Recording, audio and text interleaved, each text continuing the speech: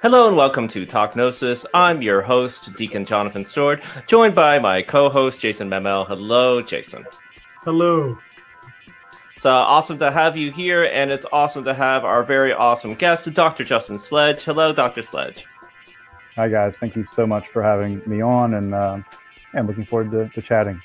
Wonderful. You know, the, our show's been running for almost 10 years, and we have said this before, but we'll let you and whoever's listening and watching in on, on a deep esoteric secret, which is we mostly started the show to talk to people that we think are cool and interesting so that they have an excuse to talk to us. I, I would say you are the very epitome of this of this project because we love your channel so much. And uh, Jason and I are in a uh, we're in a group chat for an esoteric group that we're in, uh, a G chat, and uh, basically every time you release a video, it's like, yay, a new Dr. Sledge, and we talk about it, and we rush out to listen to it. So that's why uh, we're we're really happy that uh, that, uh, that you're here, and uh, we know that everybody who is listening and watching is going to be just as happy or happier.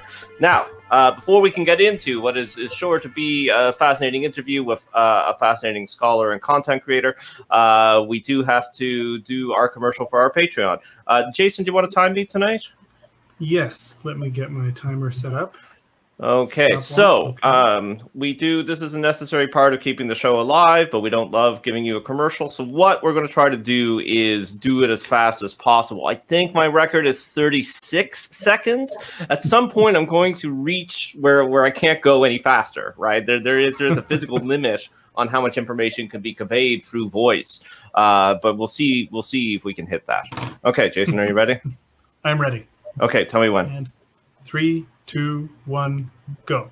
We can't present the show without your financial help, so please go to patreon.com slash Gnostic for as little as a dollar per piece of media per month. You can uh, help us out. And if you don't want to do, uh, uh, you can do one-time donations by going to uh, paypal.com slash Gnostics. That's paypal.com slash Gnostic, patreon.com slash Gnostic. Money's not the only way you can help us. You can also tell people about the show. You can share it on your social media. You can send your favorite episode to someone that you uh, love. Uh, like and subscribe. Definitely give us good reviews in the podcast form on Apple Podcasts because the archons have been screwing us over there. How did I do, Jason? 33 seconds. Hey! Love There we go. Great. Yeah. Yeah. That's fantastic. Well done. Thank you. Okay, new new record. Okay, now uh, uh, now we can get into the good stuff. Uh, Doctor Sledge, um, what first intrigued you about esoterica, and, and how did you start engaging with it academically?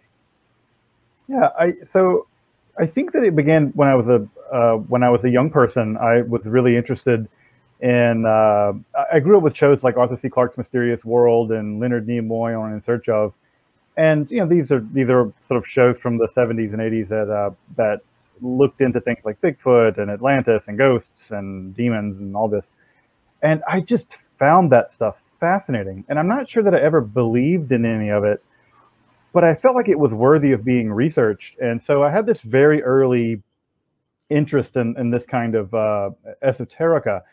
And uh, in my teenage years, I was like on a BBS, which I mean, BBSs are the you know dinosaurs of the internet.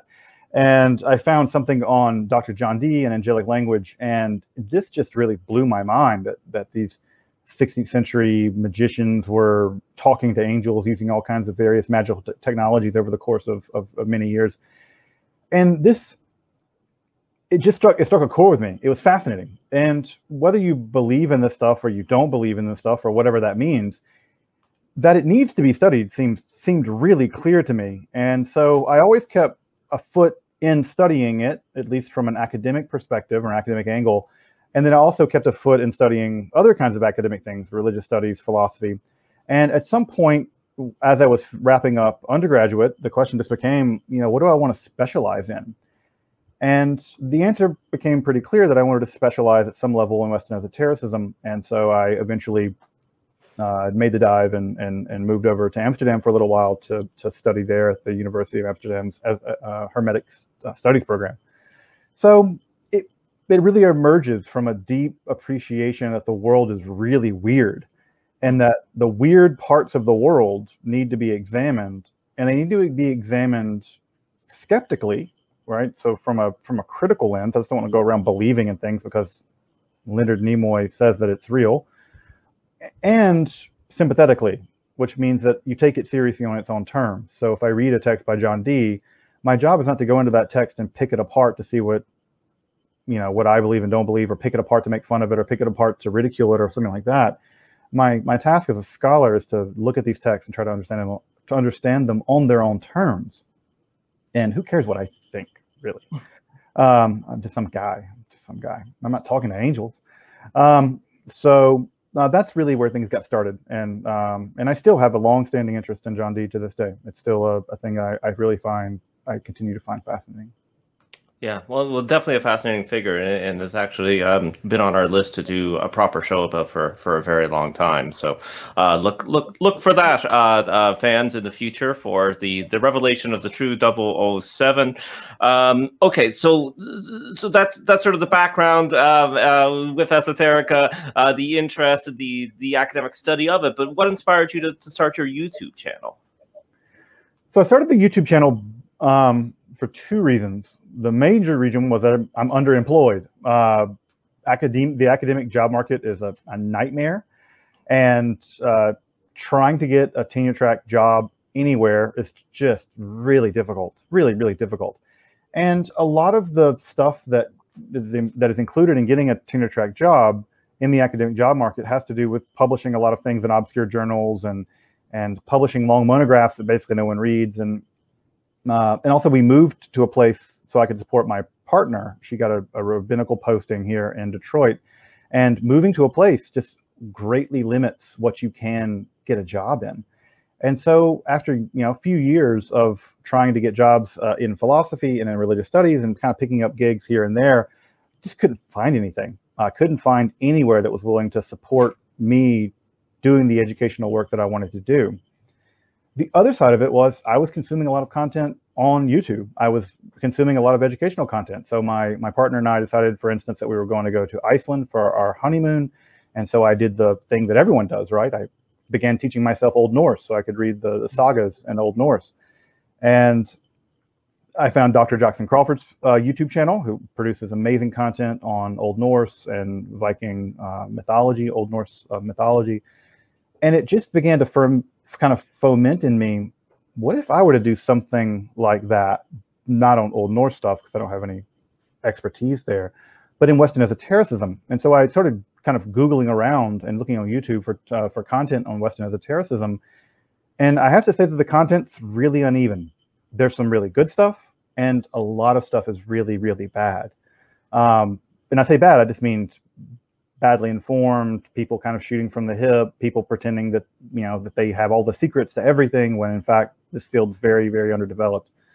And so I talked to my brother, who was a big uh, consumer of YouTube content, and I asked him, "Hey, do you think I could make a YouTube channel about esotericism?" And I floated this idea by a few people, and you know, basically, I was told, "Yeah, I think this might work. I think this is niche in a way, but niche in a way that would drive that would you know people would be interested." Both skeptics and, and practitioners alike. And uh, and Baruch Hashem, you know, thanks to God, um, it has it's, it's been pretty successful so far, and I've been really, really, really uh, profoundly shocked by how how how it's working out. So yeah, it's I want to be an educator. I feel it's my duty to be an educator. If you have knowledge, it's for me, it's an ethical obligation to share it, and I wanted to be able to share it in a way that would fill in some voids that I saw in the, the content that was out there and you know, God willing, um, uh, make some parnasa, make some make a living doing it, and so uh, that's that's shaping up as well. So yeah, it's it's those kinds of factors shaping up into one reason or several different reasons that kind of contributed to why I, I started Esoterica. Also, the pandemic, right? I was planning to do Esoterica before the pandemic, and then literally the week that I was planning to drop the first eight videos of the channel, uh, that was when the lockdown happened, and I was like, well, I mean, I have time now. So being trapped at home was a was um, was was a boon, not to make light of the tremendous suffering um, that people have experienced uh, because of COVID nineteen. Yeah. Well, yeah, though that's uh, the, the, that's a fascinating and, and, and wonderful uh, the origin story, and uh, I'm really glad that you are following your your calling to be an educator in this in, in this uh, way. Uh, and, and, as you said, uh, I, I, think that you really are doing valuable work because uh, we have also noticed that about esoteric content on YouTube. Um, we've noticed that uh, uh, quite a bit. Um, and I imagine as well within academia, which is, as you mentioned, no matter what your field, incredibly challenging to, to get into tenure track. But I, I suspect perhaps with a focus on esoterica, uh, that might be, you know, even doubly so. Um, uh, uh, Jason, you you had a question, right? Yeah, yeah. I, well, I think you've already kind of uh, uh, gone there discussing. I think what you'd already sort of seen in the in the esoteric content world, um, uh, and I think like just to even echo it, I think like uh, in I think in in the in even some of the best cases, a lot of the content has still been mostly like conversational, not unlike our show here, um, which isn't exactly pedagogical. You know, like the you may pick up a, an interesting little tidbit about about the about actual esoteric content, uh, but it's uh, but it's alongside the the the book launches and the you know what I mean, like the promotional tours that that lead people to to these more conversational podcasts. Um, uh, so I guess is there anyone in the in, anyone else in the in the sort of esoteric content uh, landscape that you'd maybe um, uh, thinking more positively say like oh this was somebody doing something interesting or even somebody doing interesting educational content out there that you were like I think like I think I want my show to kind of look like that. Yeah. Um, so again, I, I mentioned Jackson, Jackson, Dr. Jackson Crawford earlier, uh, and of course he stands in front of beautiful mountains and, and talks about Thor and things like this, Odin. um, so uh, I, I, really was inspired by him. Um, I, I, also saw that uh, Dr. Angela Puca was also uh, she runs Angela Symposium was doing some uh, uh, content creation that was academic about largely about paganism and shamanism and magic and I found her content to be really engaging and high quality. And eventually I found other people, um, Let's Talk Religion, uh, Filip Holm is a really fantastic guy. Also, uh, Religion for Breakfast is just a phenomenally good YouTube channel on, uh, on religious studies more generally, focusing a lot on early Christianity, which also includes some, Gnostic, some Gnosticism and stuff like that. Uh, Dan Attrell, uh, the modern hermeticist, uh, did, was also doing really great academic work on, on esotericism.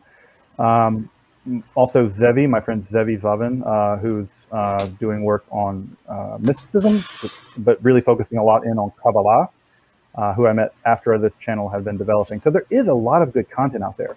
There is a lot of good content. I think that where my where the content I'm creating has a good niche is that I'm creating what I would consider to be upper level, undergraduate level. So this would be something like uh, someone who's a religious studies major who could, as a junior or a senior in undergrad, this is that's where I'm pegging, basically pegging the level of my material. It assumes you have some background in religious studies. It assumes you have some background in philosophy, but not much more beyond introductory level classes. And it does the, I, I hope it does. I shouldn't say that it does. I hope it does. It, it tries to do the work of, of presenting these texts and figures and ideas within the historical and academic context, but also and and again, I don't. I, I try to be. I truly try to do this well, and I, I don't know that I do or I don't. Um, I try to situate it within the realm of historical or, or historical and modern practice. Hmm. So I try to have a. I try to sort of have my cake and eat it too, where I want to the channel to be rigorously academic, but also trying to locate this stuff inside the world of, of, of practice as well. So yeah, there is a lot of great content out there. Um, the, the problem is that a lot of that great content is also in the mire with really bad content. I think of, um, oh, I won't call anyone out, but the, the amount of, of white supremacist, racist, uh, uh, uh, homophobic content that I see and Western esotericism uh, with people who have a couple hundred thousand subscribers on YouTube that push conspiracy theories about Atlantis and the area supremacy of the Aryan people. Um, that stuff has hundreds of thousands of followers, and, and it's rubbish. And I, I, feel like the task that I take upon myself and the task that I see that other people take upon is to get the ideas out there that say this material does matter, and it matters not because it makes so-called Aryan people or, or Jewish people or any people superior. Uh, it matters because it's a part of the a part of the human experience and a part of human history, uh, and it's a part of modern practice, really, deep, people's profound spiritual lives. So, for those reasons, among many others, this material is deeply worthy of investigation, academic and otherwise. Yeah, that's amazing. Um, uh, John, do you mind if I keep running with my questions here? Oh, please. I, I just want to add in a comment that, you know, semi joking, only semi, that, that we started the channel to to uh, to talk to cool people. Um, but all, you know, outside of that, there is some truth to that. But obviously, that, that is not 100% true. And, and, you know, we notice similar that talk about what Gnosticism is, of course, is it would be a multi-part uh, uh, uh, series, and of course, maybe there was no such thing as ancient Gnosticism. Not not not a view that I hold, but uh, of course, I respect the scholarship around it. But you know, we started the channel because we saw lots of. Uh, people calling themselves Gnostics, you know, uh, calling what they do Gnosticism on YouTube and in podcasts, uh, doing exactly what you're talking about, Dr. Sledge, right? Uh, the very very harmful conspiracy theories, uh, anti-Semitism, uh, racism, uh, really you know bizarre, really out there stuff that is that is harmful, um, uh, and, and, calling it uh, uh, Gnosticism. and uh, you know, I uh, it, it's a, a, a tradition and uh, a movement and a body of work that, that is very special to me. So you know, we did try to get out there to to combat that. so um, uh, so I, am glad that we we have similar uh, origin stories and that there are people out there like yourself noticing this and kind of answering the call to to combat it.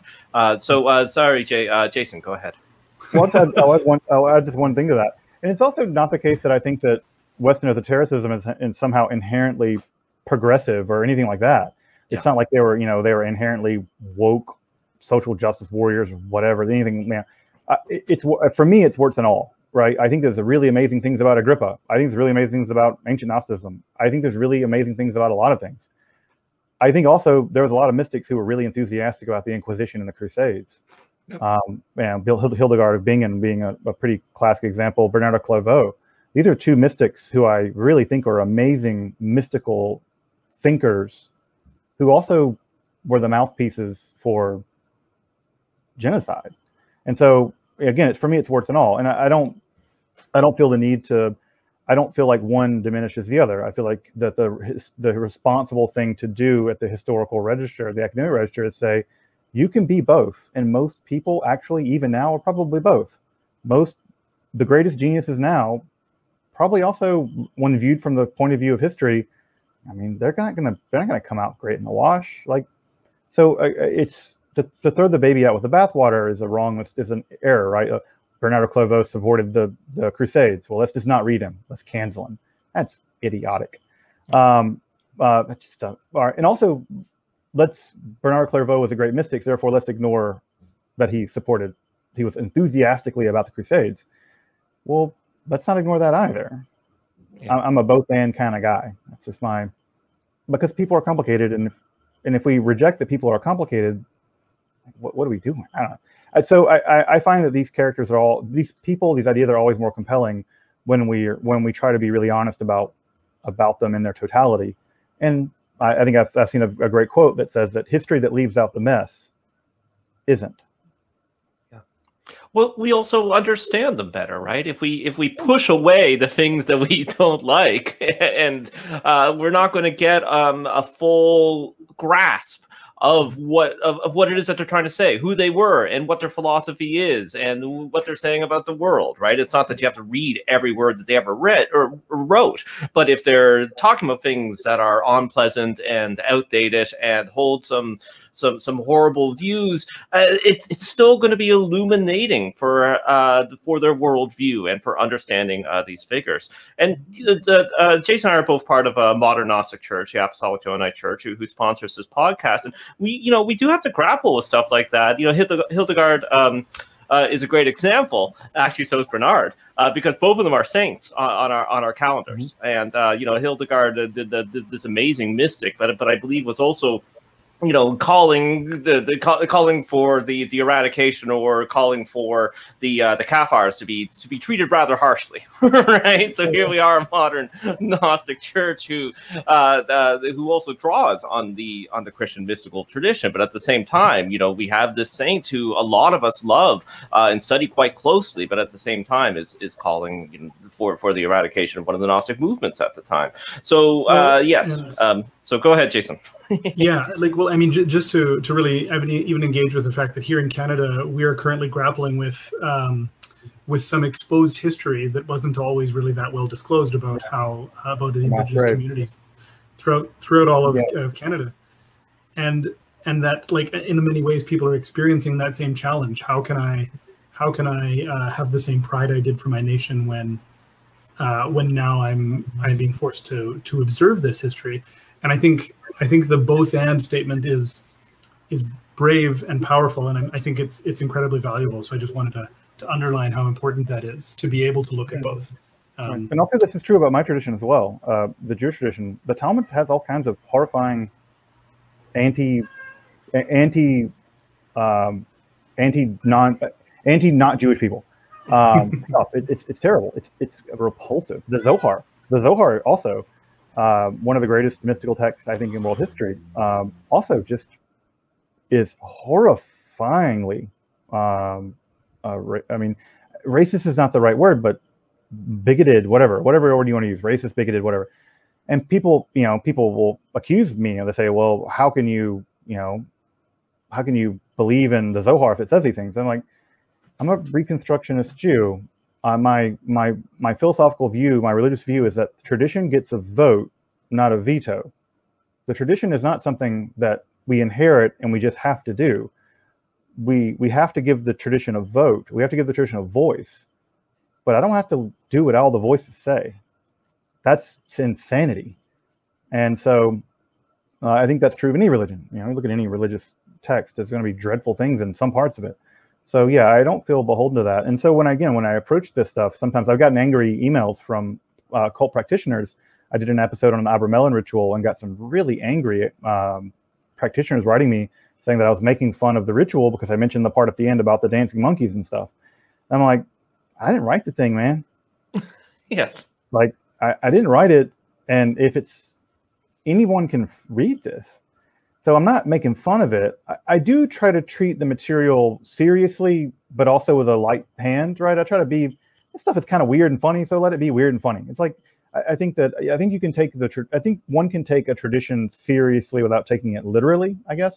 Yeah. And um, but they were really angry about the monkeys, and I'm like, I didn't write the monkey part, but do you think I was gonna like make a YouTube episode and leave out the dancing monkey, summoning magical dancing spirit monkeys? Are you crazy? That's gold. Um, so, but they were really angry. And and again, I, do I think that uh, the Abramelin ritual or whatever is a powerful has been a, has proven to be a powerful ritual technique for people to achieve uh, deep spiritual awareness? Absolutely.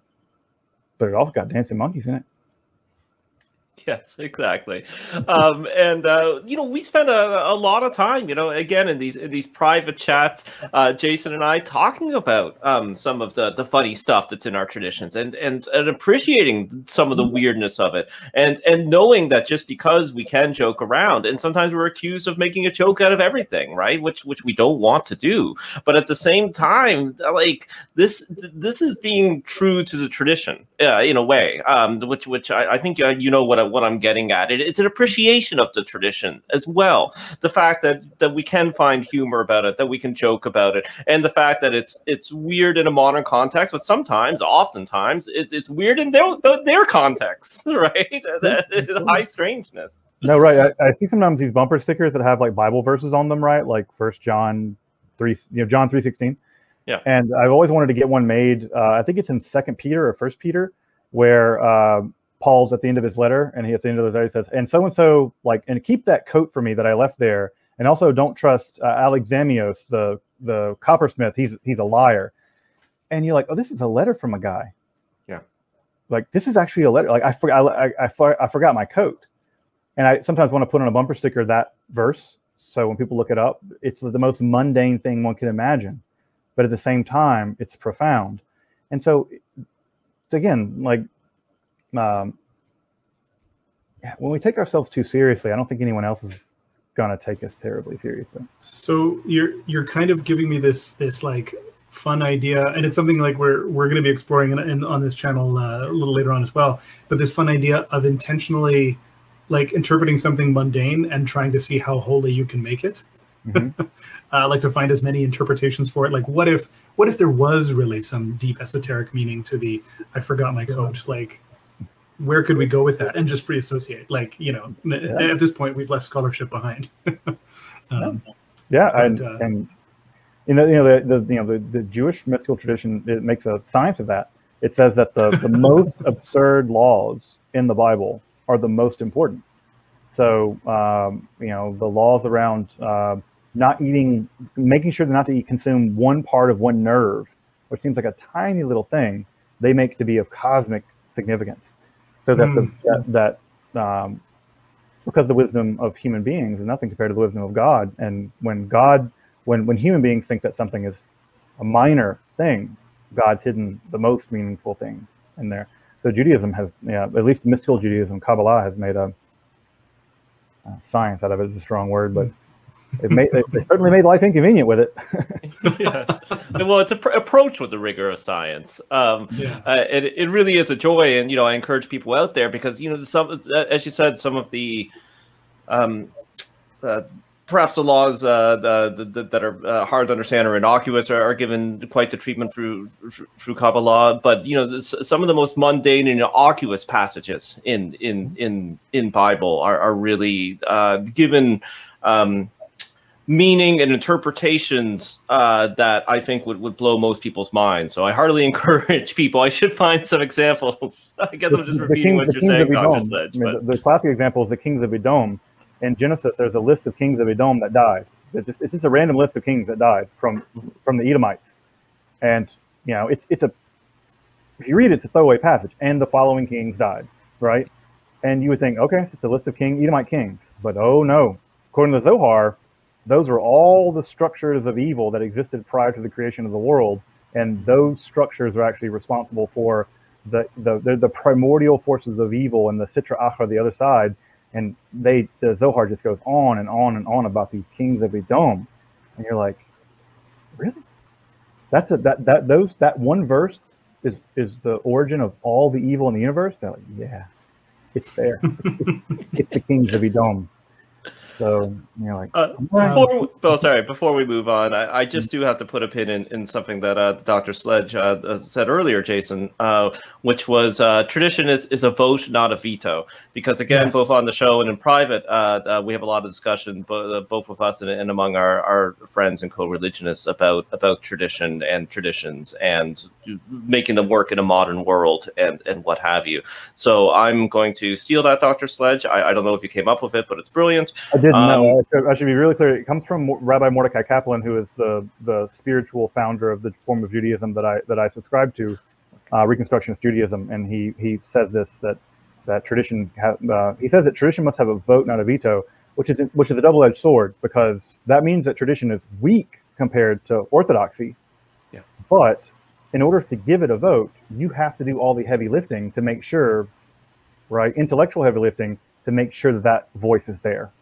So you got to do a lot of study to give it that vote. And so you don't have the luxury of simply following it blindly, like maybe people in the Haredi world do, but you have to do all the hard work of, in, of, of, of you giving that voice, which means you have to read texts that you find distasteful, difficult, obscure, backwards, reactionary, and you have to read them so sympathetically, right, that their voice can get into the conversation. You can't just throw that out and say, oh, that's just that's just what people thought in the sixth century. So it's, I, uh, it's, it's neither blind obedience to tradition, nor is it just throwing tradition out. It's it's it's the worst possible situation because you have to do both.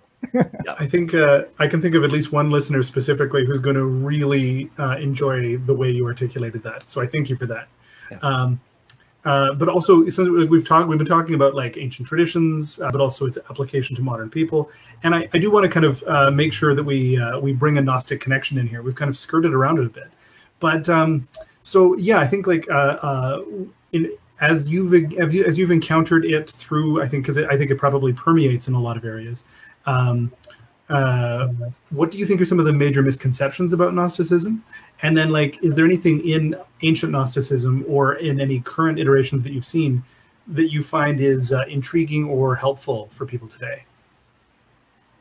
So I think I think that when I think about, and this this may this may rub up against John a little bit, is that one of the misconceptions I think I have about that people have about Gnosticism is that there was the there was Gnosticism, right? Capital Gamma, you know, that there was this thing called Gnosticism, and you could be you could be one in the ancient world. It's a polemical term, right? It's a term invented by by people like Irenaeus and Hippolytus, basically to to slander a group of people. I think that if you were in Rome in the second century and you just happened to walk into a church and and they followed what we now call Valentinianism, and if you met a Valentinian or if you were to meet Valentinus and and ask him what's your belief system called, he would tell you he's a Christian. Full stop. Full stop. And so I think that one of the misconceptions that I think people have about Gnosticism is that you can divorce it in its historical context from Christianity. And I'll say one exception to that. I think the big exception to that is that there are texts in the Nag Hammadi library that are non Hermetic, non Christian texts that represent some kind of spirituality that we don't have any reference point for at all. They're anomalous Gnostic texts. Um, so I think a, a, a, criticism that I think that people often bring to bear is that at least in the historical setting, one can separate Christianity from from Gnosticism, because if I were to talk to again Valentinus or the the Sethians, I don't think they would call themselves Sethians. They would just call themselves Christians and get on with it. Um, because again, I think that the, ortho- the Orthodox Christian world likes to paint itself much like the way the Jewish world likes to paint itself. That Moses wore a, a you know a, a, Moses wore a yarmulke and a black suit when he went up on Mount Sinai and spoke Yiddish. That's crazy, but they kind of believe things like that. Well, the ancient Gnostics, I think, were pretty similar. They believed in a, what now appears to us to be a very strange form of Christianity, but what's what's the case about the ancient Christian world is that what Christianity meant was up for debate. All they had were some gospels that kind of agree with each other, and they have the writings of Paul, and they have the apocalypse of John. And what they have to do is sort of sort this out, right? How does what does all this mean? And so the mechanics, what's under the hood of Christianity was precisely what was at debate in the in the second, third, fourth, even the fifth centuries at some level. And because one group won, because the Orthodox, so, you know, when I say Orthodox, I'm always putting scare quotes on Orthodox, because that camp won out, we now think that that was the, the normal version of Christianity. No, there were, there were dozen Christianities running around. So I think that part of, and now I don't want to go the other path too and say there's nothing true about the fact that there were Gnostics. Clearly, there were there was a group of Christians that were similar enough that they could be grouped together to be combated by Irenaeus and Hippolytus, and also they could be gathered together in texts like the Nag Hammadi library. I mean, whoever gathered those texts together grouped them because they felt them the, all those codices to be thematically similar enough to, to get them together. And ditto Hippolytus and Irenaeus also thought that they were similar enough that he could, you know, sort of write his books about them. So yeah, I think that that's the main thing, and I think this is true also of medieval esotericism and uh, someone like John Dee. To go back to John Dee, um, that John Dee was an intense Christian. So was Cornelius Agrippa. They were intensely pious Christians, and I think that many people who go to esotericism, go to the, go to occultism, or go to Gnosticism, they're doing that because they've been profoundly traumatized at some level by mainstream Christianity, uh, whether it's Catholicism or evangelical Christianity, and they don't want to have to come to terms with how Christian it is, and so you, you can't kind of you can't you can't separate them. So when I look at someone like Valentinus, or I look at you know uh, Marcion, even I, I look at someone who's just trying to be a Christian, and they're doing the same thing that everybody else was doing in the second century. They're trying to figure out what that means and whether it's aeons and archons or whether it's uh, a triune God, you know, you know, and and homoousios and all this stuff. They're sorting out what that means, and so I think the big misconception I see about Gnosticism is that, at least from the historical point of view, you can divorce it from from, from Christianity. Uh, now, from the modern point of view, people who are reconstructing a Gnostic practice in the, in the modern world, well, they can do whatever they damn well please. Uh, that's their prerogative, and no one can tell anyone that they're doing their religion wrong. I don't even know what that means. Um, as to the other question, what people can take away from modern Gnosticism now is, I think this is true of esotericism in general, but I think it's especially true of Gnosticism, is that the world is hostile. This is the thing that I think a lot of people also misconceive about Gnosticism. It, it, it basically inherits a Platonic worldview. It views the world as bad. Like this world is basically bad. Now, in some versions, it's worse than others, but the body is bad. It's an impediment. The physical reality is an impediment. It's a cage. It's a it's a it's a coffin of the living or whatever. It's a Marcus Aurelius said that uh, that the, that you're a, a, a, you're a corpse carrying around a soul or something like that. Not that Marcus Aurelius was a was a was a, uh, a Gnostic, is a Stoic, but even shows you they were materialist and they still believe things like that. I think that there's a Pollyannish view of reality. I think people have a pretty Pollyannish view of reality that's still very anthrop- anthrocentric. And when I look at reality, when I learn more about space and when I learn more about quantum mechanics or when I learn more about uh, how the universe works, not that I'm an expert in any of those things, I I see a pretty hostile world. I see a world that's basically a mostly a giant vacuum full of radiation that had it were it not for very precarious kinds of circumstances would be completely lethal to us in seconds, nanoseconds. And I often think in my personal philosophy, which I'm a bit of a metaphysical uh, pessimist, that the Gnostics were half right. That is to say, their diagnosis of existence is true. The world is a dangerous prison. Where I think that they're wrong is that there's no escaping it. Uh, there's just death. And you you get turned in. You actually get turned into the various thing that becomes toxic to the people around you, uh, which I find to be a little bit poetic. Uh, I, I, appreciate the poetic irony of that. Um, yeah but I, I, when I find when I look at Gnosticism, um, when I look at Gnosticism, the world is not the way that whatever the world is is not apparent. It's not clear. The world's weird and scary and disorientating. And when I think that when I imagine a Gnostic in the second century walking through Alexandria, I think that they they cultivated the sense of being an alien in their own world. They cultivated the sense of I don't belong here. And we already see that, by the way, in early Christianity, even the writings of Paul, right? I'm, I'm of, I'm in this world, but I'm of this world. That's already there in Paul. Yeah. And so I think that the, that they cultivated an, an alienation, a certain kind of alienation. And I think that cultivating that kind of alienation, that this world isn't forever, that the way the world is now is not the way that's always going to be. It's always been that way. And that conforming to the world and conforming to the way this world is might not be advantageous for you psychologically, spiritually, um, and many registers, most registers perhaps. And if that's true of ancient Alexandria, uh, how much more does that to be true now, where we live in a world that's you know late capitalism, where uh, if we're lucky, we, we get a crap job that pays half of what it paid 50 years ago to basically put ourselves into a mountain of debt. Um, and you know, do we really want to subscribe to that world? I, I don't think it's a world worth subscribing to. And so cultivating one's not alienation in the negative sense, but cultivating the idea that this world as it is is not good and doesn't have to be this way. I think that's a pretty I think that's a pretty progressive way of looking at reality because it means that you don't think that the things that are around you are natural and they've always been that way because they haven't. So I, I, I like the idea that the world that the world is a hostile place and because it is in many, many ways. Um, the universe, especially. I'm not sure about this planet, but we're, we're making this planet increasingly hostile to us because of our short-sightedness and stupidity. We're good at that. Um, and and cultivating the idea, right? I think there's a scene, maybe the most Gnostic you know, movie ever made in some ways is The Matrix, which I have lots of problems with the second and third ones. But the end of the first one is that great sequence, right, where he's he walks out of the telephone booth, right, and he can see the matrix in front of him, right? The green code coming down. um, and you realize he's now a foreigner in home. He's a foreigner at home, and to cultivate that sense of being a foreigner at home, I think is is at some level consciousness building, awareness building.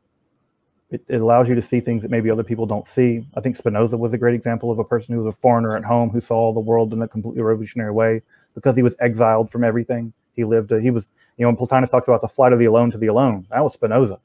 He was alone, right? Flying to the alone in many ways.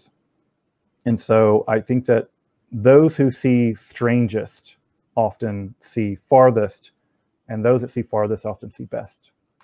Yeah. I love that.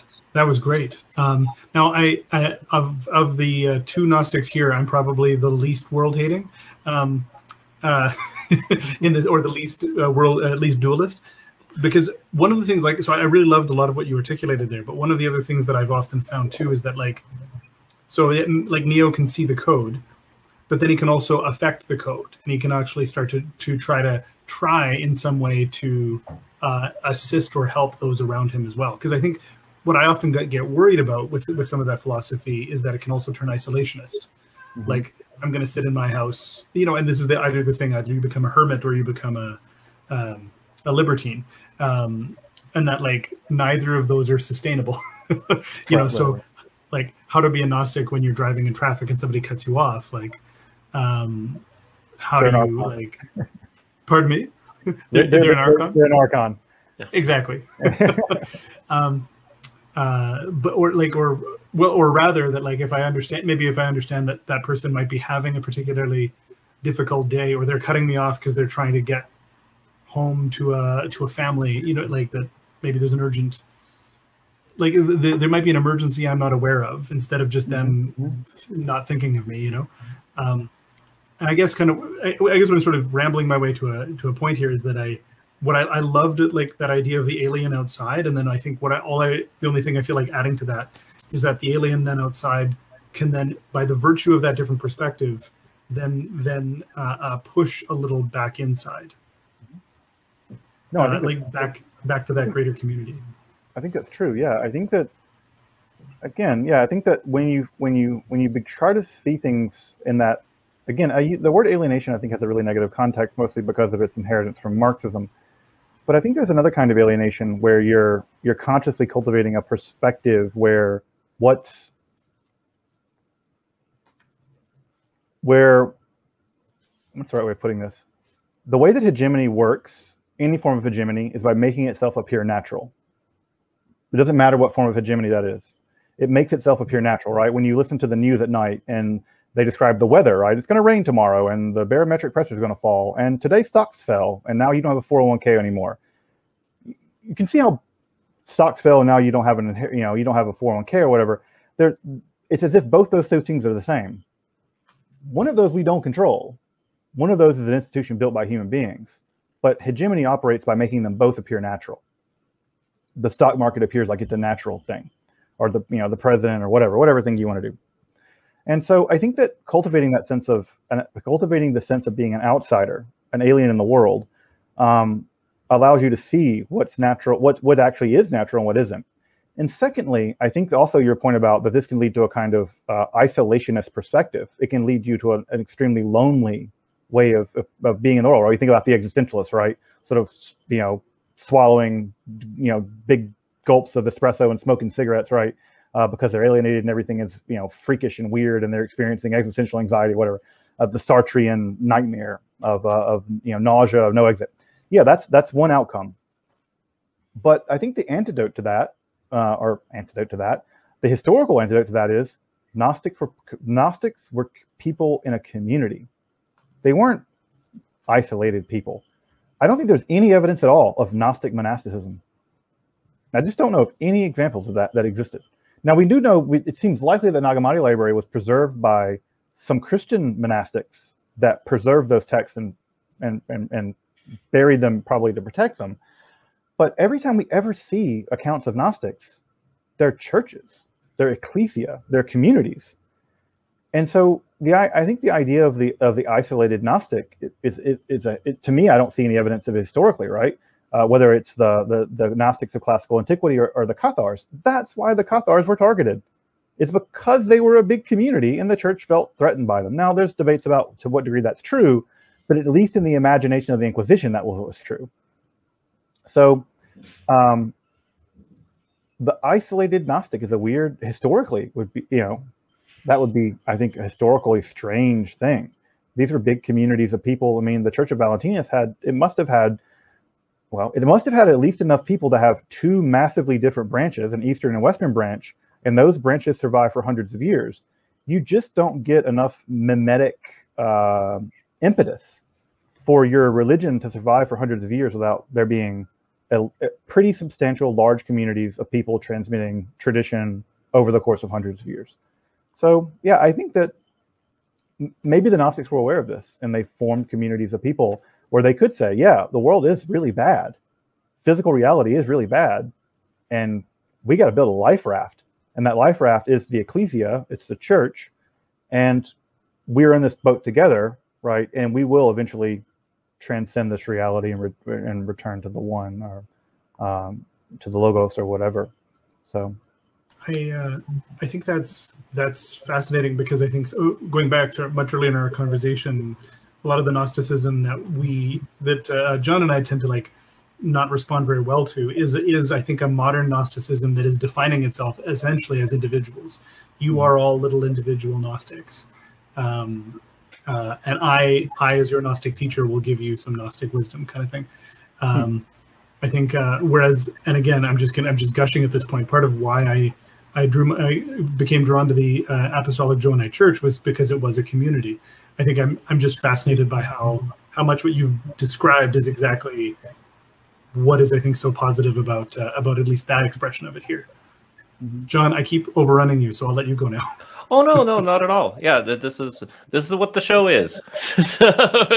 go on tears, my friend. Go on tears. But I actually will. Uh, of course, I'd love to stay with Gnosticism, but I would like to reorient the, the conversation a little bit to come back to academia because I'm so curious. You know, I've I, I have an undergrad in religious studies, but that was uh, in the early 2000s, so I've been out of school for a long time, and even then, I had a strong interest in Gnosticism. It would always try to shoehorn it in at any opportunity I had but uh, my impression is you know, for those outside of academia, right? You hear about these topics and specializations, and they sound very niche. You know, Britney Spears studies, what have you.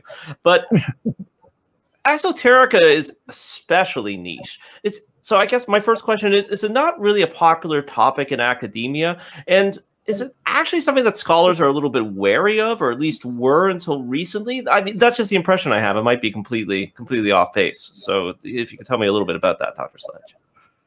So, no, you're not. You're not off base. Religious studies, religious studies in general, is a very small part of of, the academic world. Uh, I'll give just an example here, and it will maybe be a bit anecdotal, but I hope it's not anecdotal in a way that's that's uh, totally off the mark. I live in, in Southeast Michigan in Detroit, and uh, near Detroit is Dearborn, and Dearborn has one of the largest uh, Arab American communities in the in the outside the Arabic world. I think it's the largest. So Southeast Michigan is a weirdly diverse place with various kinds of Muslims, various kinds of Christians, including Christians from the Arab world. Uh, has a huge Jewish population. We have the I think the largest Reformed temple in the world, right? So Southeast Michigan's incredibly religiously diverse. And yet, the major university here in Detroit does not have a religious studies department. Wow. Doesn't even have, like, won't even hire me to teach religious studies classes consistently. Now, I know that universities have budget problems and there's all kinds of reasons why. But this country, I'll speak for our for America. I, I don't know what's true for other countries. I, I, imagine it is. This country is increasingly polarizing and balkanizing, and on one one one of those axes in which it's polarizing and balkanizing is religion. And every Islamophobic person that I've met, every anti-Semitic person I've met, any every anti-Catholic person I've met, when I've asked them, what is it that you don't like about Islam? What is it that you don't like about Catholics? What is it that you don't like about Judaism? They don't know the first damn thing about these religions, and they've never met one. Hmm. They don't. They, they right? The quickest way to cure an anti-Semite is basically make them hang out with Jews for a week, right? Or, or any kind of, you know, I take an Islamophobic person and get, you know, take them out and, you know, they introduce themselves and they get to meet some people in Dearborn, whatever.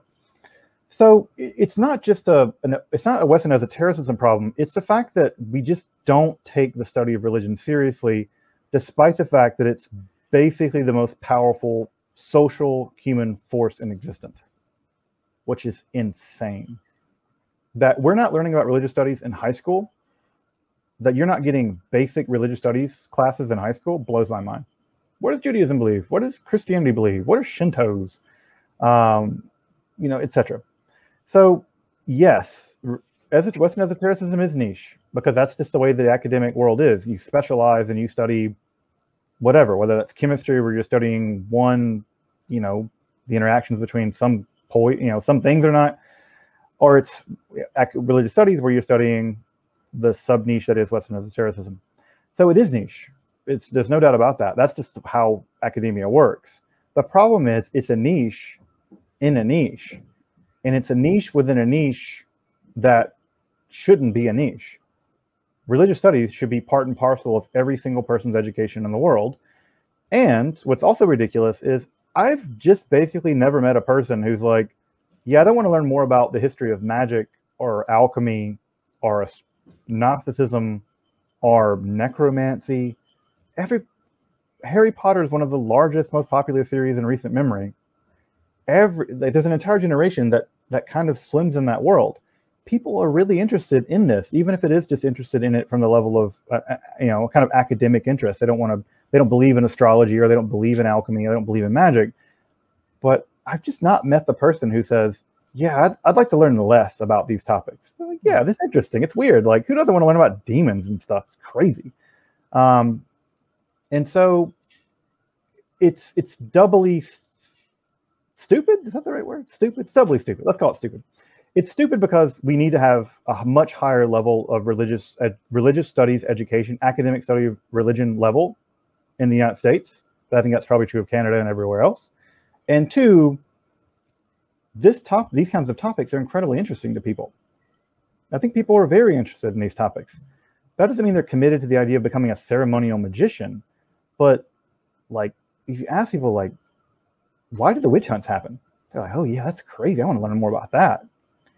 I think, and this is where I think it's the second part of how I think it's stupid, is that universities would benefit from having. And again, I'm, I, I, I sound like I'm selling myself, but maybe maybe I am. Uh, they would benefit from having classes like this. If you could take a, if you go to university and take a class on the witch hunts or the history of magic or the history of alchemy, I'm pretty sure those classes would fill up. I think they would fill up. I think people would be interested in them. And one of the things that universities have a problem with is trying to get people to fill them get people in classes, get people attracted to coming to college. So, yeah, it's a niche and it's a niche within a niche, but it, it's a symptom of a much bigger problem. And the bigger problem is we're not investing in the United States, at least, and I'm sure this is true of other countries, but I want to speak for other countries. We're not investing in religious education, and to our detriment, because uh, religious bigotry just can't breathe the air of education bigotry in general can't breathe the air of education. And so it's really difficult to believe that Muslims hate everybody. If you learn about Islam and are sitting in a classroom with Muslims, being like, yeah, we don't believe stuff like that. And ditto Christians, right? That people think, oh, Christianity is just this tyrannical religion that blah, blah, blah, blah, converted people by the sword. It's only the Inquisition. It's only the Crusades. No, that's not true either. It's a silly straw man version of Christianity. So yeah, it's niche, but the the the niche has to do the niche has a lot to do with with uh, with the the fact that religious studies has also been made into a niche, and I think unjustifiably. Yeah, I I, I completely agree, and you know that that's that's been my experience, uh, both both with connections uh, uh, to academia and just what I've noticed. Um, and it, blows my mind. And you're right when you're talking. I know you're specifically talking about the U.S. context, but I can definitely say that's the Canadian context. And it, it blows my mind that you know it blew my mind back in 2001 that that there that, the, that there isn't a high school course on on world religions academically uh, taught, um, and, and how much that good just that one simple course would do. Um, and yeah, you're right as, as well that you know when you're just talking with when you're selling yourself, uh, any any university administrators out there watching. But but I know um, there's a local university here. The religious studies department has a uh, a course on on witchcraft, on witches, the history of witchcraft, the history of witches, um, and it you know it's it's booked up every semester, right? it's definitely the number one course that people take in that uh, uh, uh in the religious uh, uh, faculty. So, um, okay, Jason did have to split a little bit er, earlier, but if we can keep going, Doctor Sledge, for for a little bit longer, yeah, yeah. Fantastic. So, so I have a, a couple more questions. Um, so we kind of talked about the value of looking uh, at this as as a academic discipline. But is there something in esoterica that the people of faith in mainline religions can can learn about the human condition through? Um, is there anything for atheists uh, to, that they may get a, a, value philosophically through engaging with, with some of these esoteric religions? Yeah, I think that to answer the first question, I think that Orth- let's call it orthodox believers. I, I don't like that term because I don't think anyone's ever really orthodox. I think if you ask an average Catholic whether they think that um, women should have the right to abortion or if they really believe that a talking snake tricked a woman in a garden, they're gonna be like, eh, right. So I think that the, the orthodoxy is always a weird, a weird. Uh, it's it's a regulative ideal. I think that uh, Immanuel Kant would say. Um, I think that what's interesting about esotericism and the esoteric aspect of a person's religious belief is that many people often think that their religions are um, are boring, frankly, right? They think their religions are boring. And it's true that in many ways, the version of the religion that gets sold to many people, that gets presented to many people, is just follow a bunch of rules or you'll go to hell, you know, or whatever equivalent of the bad afterlife. You'll get reincarnated as a donkey or something. And so it's somehow like a you basically you do your religion because you're being threatened by some dude at the front of the room on Sundays or Saturdays or whatever day, Fridays. And also you're taught the most boilerplate version of your religion. It's the most sort of humdrum version. The esoteric dimension of these religions, which by the way, was almost always cultivated by people who were deeply dedicated to the orthodox version of the religion again, we go back to Hildegard of Bingen. Hildegard never wanted to do anything other than be an extremely pious Catholic woman. Um, you look at many other of these people through history, they don't want to undermine their religion. They want to deepen their religion. They want to get into the really core of the religion, the hidden part of the religion that's really important. And so I think that by studying the esoteric aspects of these of your religion and, uh, and of other religions, but specifically the religion you belong to, you really un, it really opens up right? The religion. It, you you you find a power up, and that that that secret power up that you find shows you that your religion is actually really complicated, really beautiful, and really weird, right? It is not the humdrum Catholicism that you were taught. It's not the humdrum Judaism you got at Sunday school. Your religion's out of control, weird, God masturbated reality into existence. Like that stuff, like that, right? So I think that for for believers, that's a reason to turn to that material and so I've consulted with people who, for instance, want to consult with Judaism because they they know that I subscribe to a Judaism that's very much interested in Kabbalah. Not that I would describe myself as a, as a Kabbalist, but they want to convert to Judaism because they think Judaism has all this stuff to offer with Kabbalah. And I've talked, many of these people are Catholic, and I'm like, do you, do you read Meister Eckhart? Like I would trade, you know, like I think they do this like sports, right? Athletics, like you trade players for other players to get stuff. Like, I don't know, man. I'd trade some Kabbalah to get Meister Eckhart. Let me tell you. Um, and if you haven't read Meister Eckhart and seen him as a, a part of your tradition, um, then I think you're short selling your tradition. You know, so uh, don't convert to this tradition because you think there's something here that's not there. There's stuff that y'all have that we don't. I'm I'm I'm deeply in awe of someone like Meister Eckhart. I mean, I've literally copied by hand an entire sermon of Meister Eckhart in calligraphy because I find it so illuminating. And I'm not Catholic. Um, and is there a thing for atheists? Absolutely. Like, I don't think I believe in God. I don't think I'm committed to belief in the supernatural at all. I don't believe in the supernatural. But what I do believe in is awe.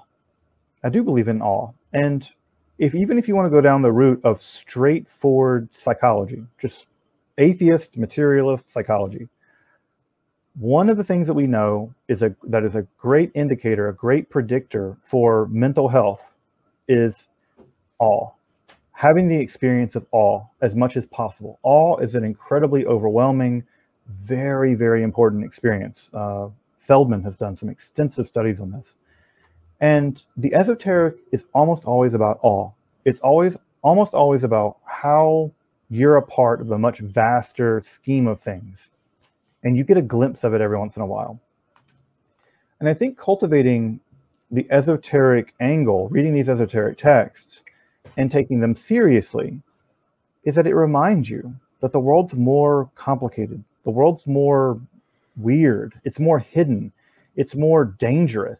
It's more alluring. It's more, um, I don't know, shocking. And that if you if you read that literature and take it seriously, like, wow, this is like really, really weird and bizarre and fascinating, I think that that opens you up to the possibility of the experience of, of awe. Because when I read a text like, I don't know, um, the Gospel of Truth, right? The Gospel of Truth, I'll just pick one out of a hat. The hat of esotericism. Uh, what kind of hat that would be? Um, wouldn't be this one. There's not enough room in this hat. Not enough room. Yeah, um, well, it'd have to be a, a tall magician style top hat, right? So yeah, it had to yeah, it had to be yeah. right. It has to be like a pretty or a mitre, like a bishop's mitre, yeah. something something deep. Yeah. Um, a dunce hat maybe. Um, that when I read this gospel of truth, I, I don't describe I don't I don't think of myself as an, a Gnostic or a Christian, but that text is awe-inspiring. It's so beautiful. When I read the when I read the uh, oh even better the the Thunder Perfect Mind, my God, Thunder Perfect Mind, just reading it out loud feels like I've just done athletic meditation. When I really try to embody and feel in my body, see in my mind, experience in my existence these hugely vacillating contradictions, it, it's a it's it's spiritual athleticism. And I, I don't believe in God. I don't believe in the supernatural, but I believe in awe. I believe in, in I believe in feeling the ocean of being wash over me and experiencing it in its complexity. And I don't know of a text that does that does that more for me than something like Thunder Perfect Mind. So, no, if you want to be an atheist and just say like this is all nonsense and stupid, well, that might say more about you than it does about these texts, right? So, ditto with like you know, I, I get the same feeling when I read Rimbaud. And if if there is a modern atheist Gnostic, Arthur Rimbaud was it. Like, yeah, damn. Like, you know, you read, you know, a season in hell is a Gnostic kind of text. It's yeah. Gnostic scripture of a certain kind. And when I read that, I feel the same thing. Rimbaud's A Season in Hell is, is, is, is, a similar kind of text to me. So I, I, I think that if atheists want to write things off, they do it at their detriment. And I think that if, if religious people don't take their traditions in the fullness right? In tradition, right? At least in Jew- Judaism, the word Kabbalah means received. It's a word for tradition. Well, you've also received Hildegard of Bingen, Hadewijch. I mean, my God. Like uh, the psychoanalyst Jacques Lacan said, no one has understood desire aside from Hadewijch. It's the only person in history that's understood it. Yeah. Desire has been completely misunderstood by every single other person than Hadewijch. And I'm like, this is a guy who's a genius in psychoanalysis saying that the only person who understood this was a 14th century Christian mystical woman. Yeah. I take that real seriously. I take that very seriously. Very seriously. Yeah. Yeah, exactly. And uh, uh, the thanks for the, the shout out to Rimbaud, who I I I, I consider personally, I, I put him into the, the the Gnostic camp for sure. So, and especially because you know the, the, we have so many ties to the the French occult revival, who also you know quite liked him. So I count him as one of ours. But I'm I'm just uh, spinning, uh, uh, spinning, rapping uh, on some of the minutia of your of your very important points. Uh, but I, I, I completely agree. Um, Okay, so we're seeing now, and we've always seen it, right? Uh, the, the occultists, esotericists, people interested in this stuff, they often go in hard and they do a lot of reading. They they're very interested in it, right? Often, often. There's not a lot of uh, dilettantes. Um, but I think more than ever, we're seeing more of an intersection between um, the academy and uh, uh, occultists. So I, am wondering, a lot of occult traditions, they have traditional histories, sometimes secret histories, right. that, that don't seem to be literally true. Um, if we look at it with the info and scholarship that's open to us. Now, if these aren't literally true, should we get rid of these histories and these lineages and these these stories about people discovering mysterious texts or meeting with a teacher that gave them a, a, a hidden underground lineage? Should we throw that in the garbage? No, I don't think so. I, I think that I think that the task of myth is not to tell history. The task of the task of the task of myth is to generate meaning. And I think those are very different tasks. And one way you generate meaning is by telling stories. So when I look at the the various myths, right, and I would use my own tradition as one of those myths, the Moses myth, right? I, I don't think there's any historical reason to believe that the Exodus ever happened. Frankly, it just didn't. There's no reason to believe it happened historically. Um, so when I look at those stories, I'm asking myself, what am I? Why am I reading this? And if you want to claim authority based only on those stories, well, what you're really interested in is power.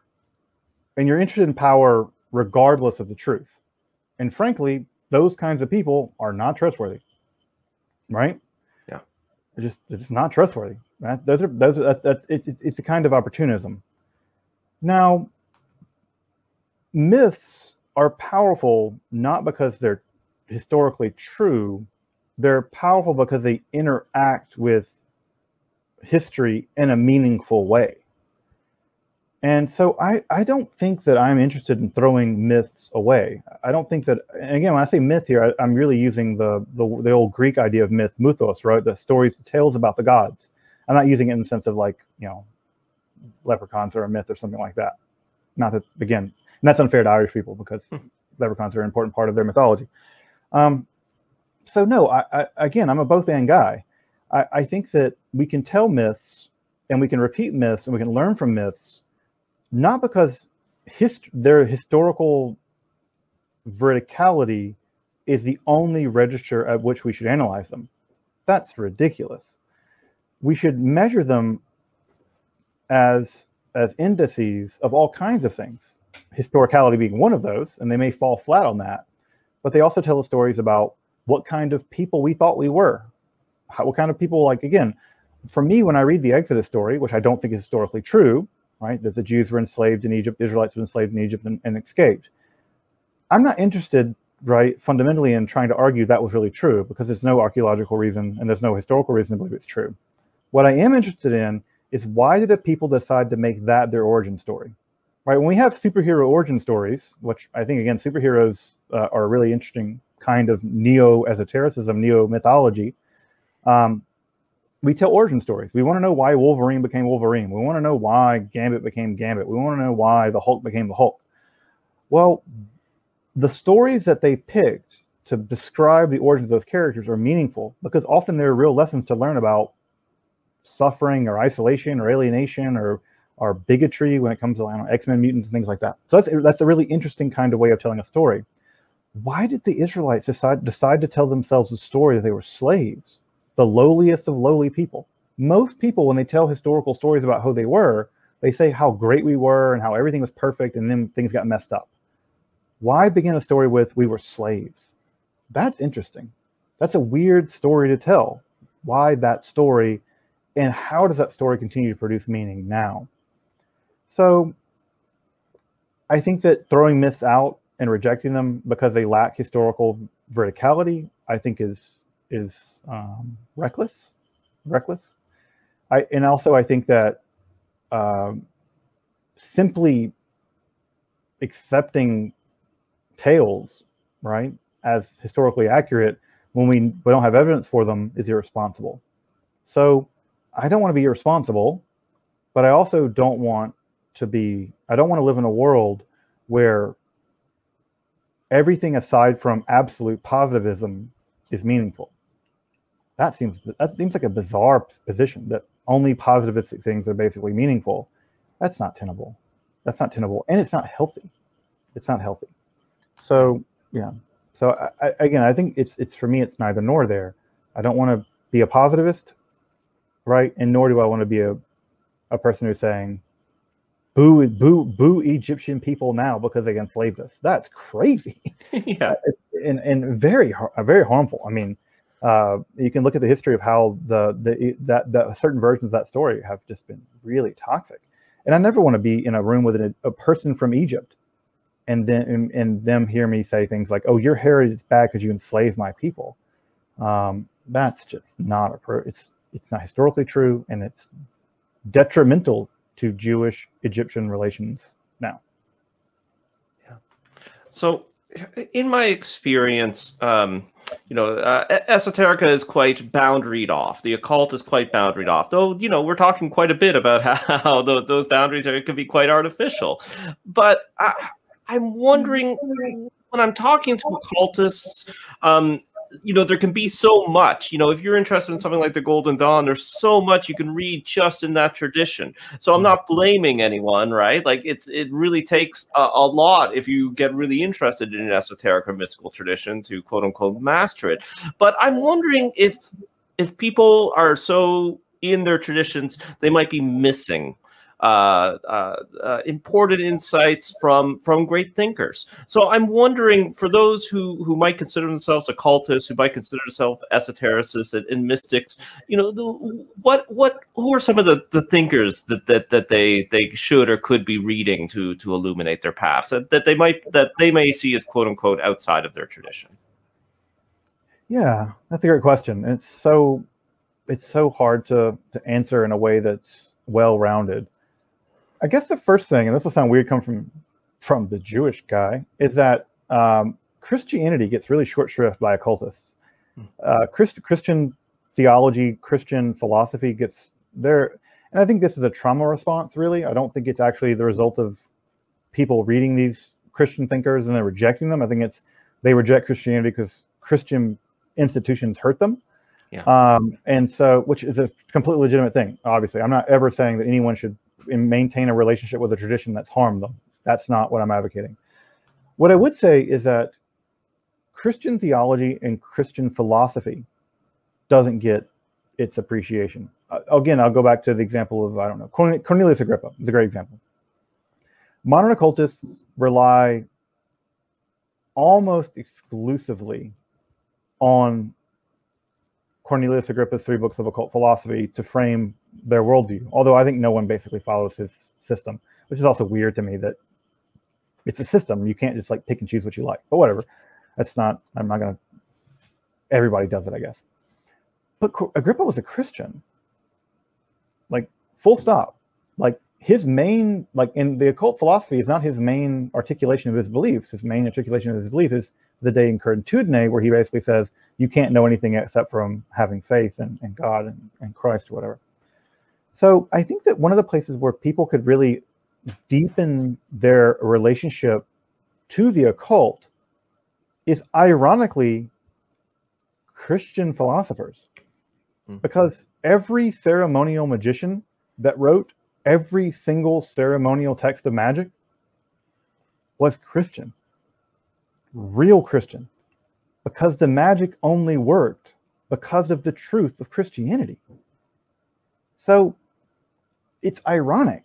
And again, this is a weird, again, from the outside, right? Because I'm, I'm, I'm some Jewish guy, so I can see this stuff from the outside, I guess, assuming I'm seeing something, is that Christianity needed the occult. It needed a boogeyman.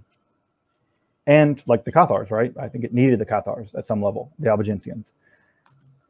But the occultists need Christianity. Their basic fundamental metaphysical structures rely on Christian toponyms, Christian metaphysics, uh, Platonism, stuff like that, Aristotelianism even.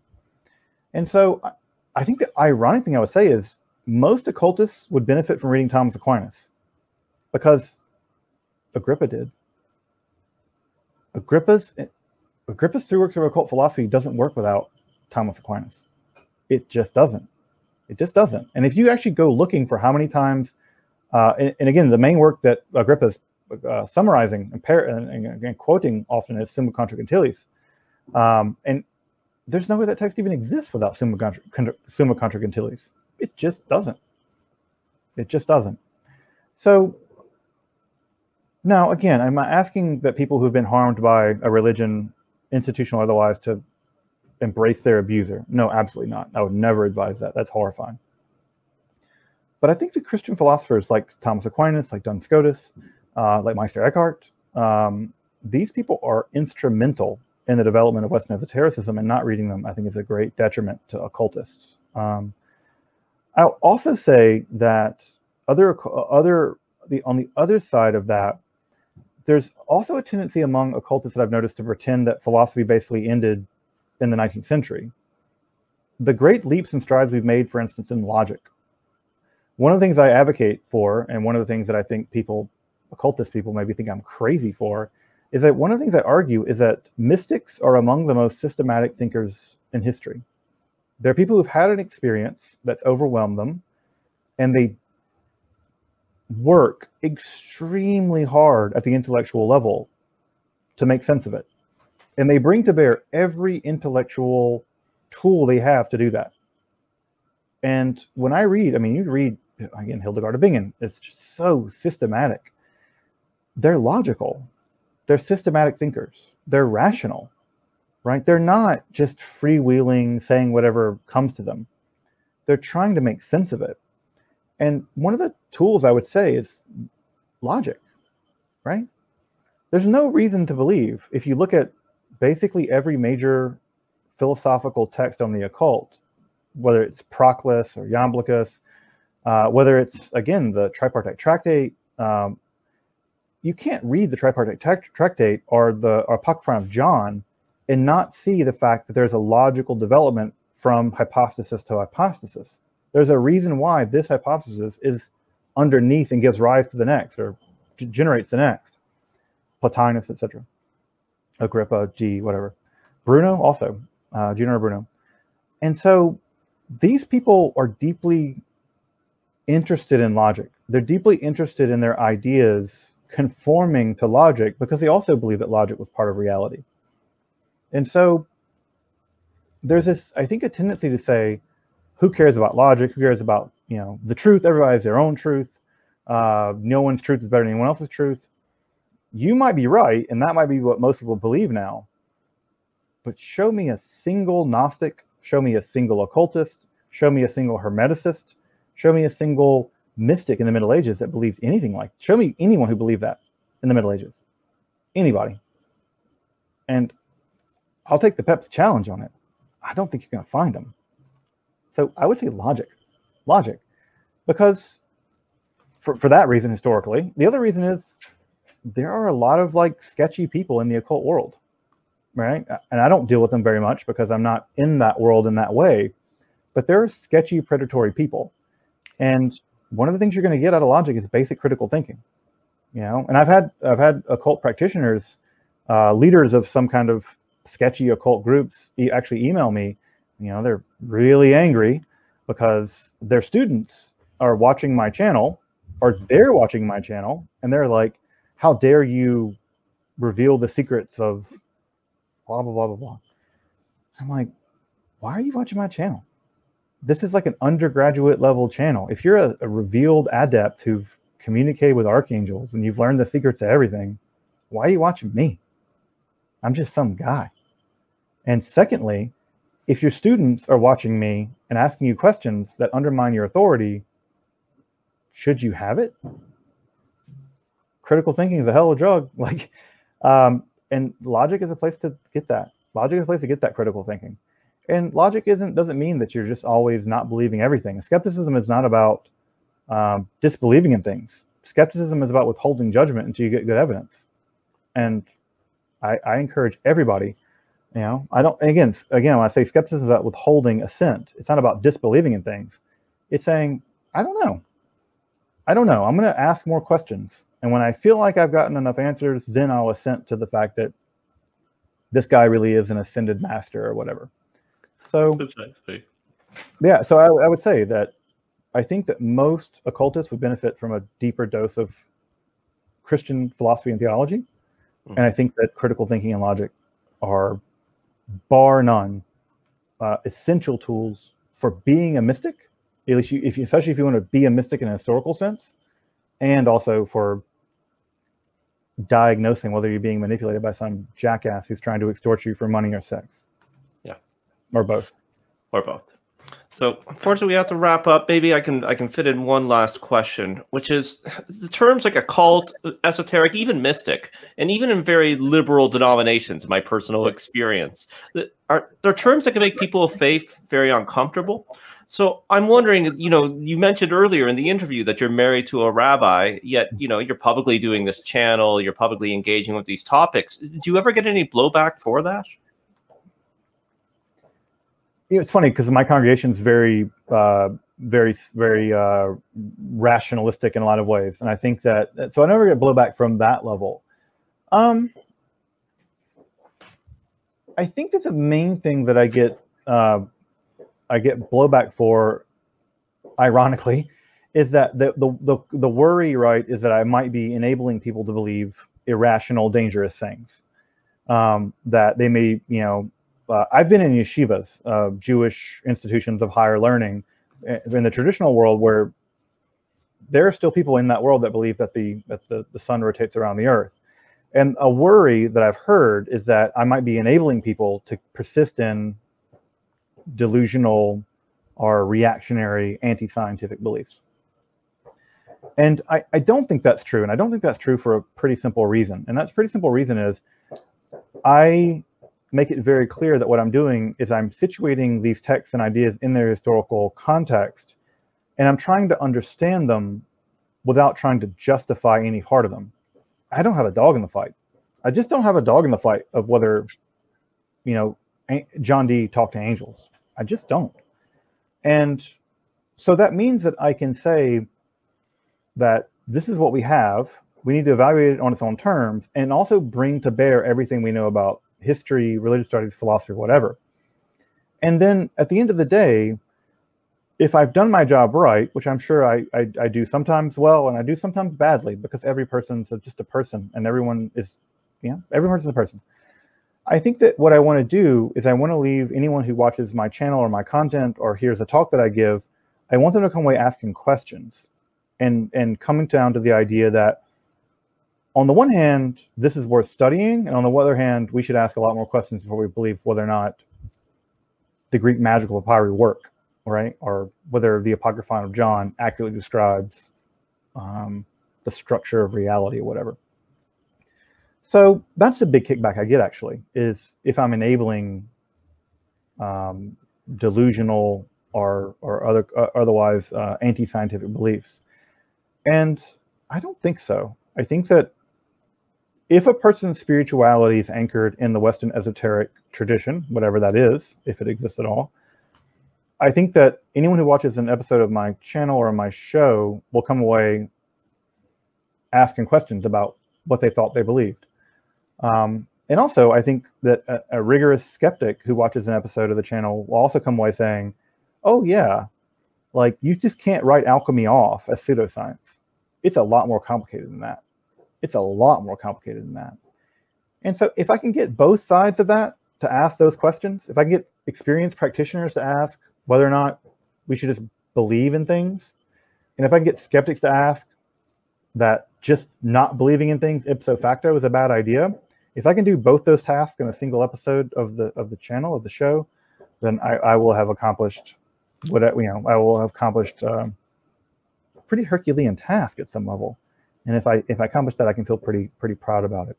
And at least in when I read the comments, people are on both sides, right? People on both sides. Mm-hmm. So, God willing, the show the, the the content's doing that. And um, again, you know, I've, I've had Orthodox Christians, you know, who are uh, Gnostic curious, let's call them, right? Gnostic curious. You know, they've read about this guy Valentinus, and they knew that he had a big following, and so they're like, want to know what Valentinianism is, and they don't want to hear it from a Valentinian, right? Because they're they're you know they feel like they've been sold a line. So they find my episode on Valentinianism, and they're like, "Yeah, I don't believe that, but that's neat. That's interesting. That seems, it, you know, I didn't know that, you know, that I didn't know that that you know the Trinity really doesn't just uh, pop out of Paul, and uh, you know, Orthodox Athanasianism had to be developed over time." I'm like, yeah, it could have gone either way. It could have gone either way. history's a weird place. Yeah. A weird place. Well, Dr. Sledge, it- it's been simply incredible to have you on. Uh, I am sad that we have to wrap up. It's, it's such as the world that we live in. Could you uh, remind people where they can find you online and engage with your work? Yeah, I think that if you want to if you want to check out my content, you can find me on on YouTube at Esoterica. I, I don't have any other social media. I'm scared of social media. Um, but you can find me on YouTube at uh, at the Esoterica channel. So just go to YouTube and, and type in Esoterica, and you'll you'll find me. Uh, if you have questions for me, or if you want to interact with me, um, uh, feel free to reach me at my at my website, justinsledge.com. Which it's weird to be a .com, but we're all .coms these days. So you can find me there, and um, yeah, I look forward to uh, look forward to folks uh, finding me and hanging out. So Fantastic. And quickly, my, my closing plugs are uh, holygrail.substack.com. Uh, that is, oh, that's actually the wrong link and wrong plug, but that's my parish in Montreal. We were being online for the crisis, but we are no longer. But go there if you're in the Montreal area. What I meant to click for those watching is mylandmeditation.substack.com. I do uh, secular Sunday morning meditation at 11 a.m. Montreal time. That's Eastern time. Uh, we are taking a break for the summer, uh, but in the fall we'll be back. Uh, we gather in a, at a local yoga a yoga studio, and we broadcast the meditation from there. And we have uh, it is interactive. You know, you can turn on your mic, you can ask questions, you can hang out, whatever. So we got a great crowd that comes out for that. And again, that's open secular uh, psych- psychology based meditation. So it's great if you, no matter what you believe or don't believe, uh, if you have a practice, practice. If you don't have a practice, it, it's set up for uh, any level of experience. Uh, also, if you go to Twitch TV slash Gnostic Wisdom, uh, Father Tony, who some of uh, some of the regulars will know, uh, both the founder of the channel, previous host, and, and previous everything. He is he's back. He's doing stuff with us once again after a little hiatus, and he's doing a lot of live streaming. Twitch TV slash Gnostic Wisdom. He's trying to stream uh, the f- four nights a week with some some different projects. So he's doing some hangouts, some talking on different esoteric topics. So you can ask questions and give out your wisdom. He's also streaming Gnostic themed video games uh, on Twitch, and he is doing movie nights. So we're finding esoteric and Gnostic themed movies, and we can watch them together as groups. So go there and check out uh, everything he's doing. Okay, Dr. Sledge, thank you again so much. Good night, everybody. thank you.